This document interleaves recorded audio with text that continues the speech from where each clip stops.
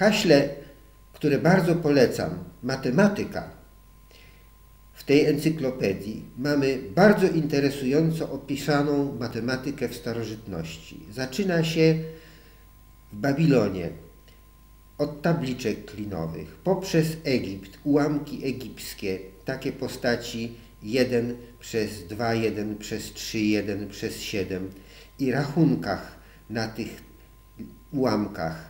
Przechodzimy do Grecji starożytnej, do rozwoju matematyki i do wreszcie elementów Euklidesa, które były jak gdyby takim kulminacyjnym punktem w rozwoju matematyki w starożytności.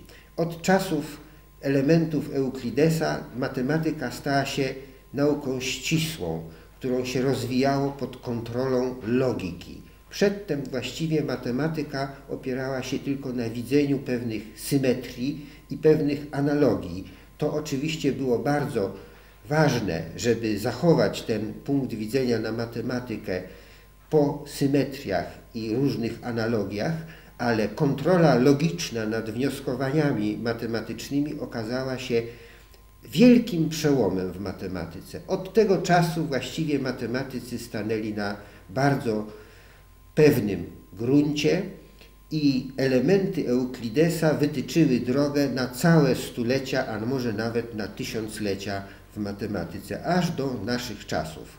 Zachęcam do szczegółowego przejrzenia kartek tej encyklopedii i przeczytania o rozmaitych nazwiskach ze starożytności, takich jak Apoloniusz, Archimedes, Papus i wielu, wielu innych. To jest pasjonująca lektura.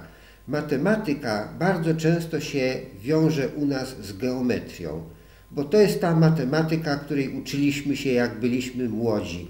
I ta matematyka właśnie powstawała w Grecji, dlatego tak bardzo cenimy matematykę w starożytności i ciągle do niej wracamy. To jest pasjonująca lektura.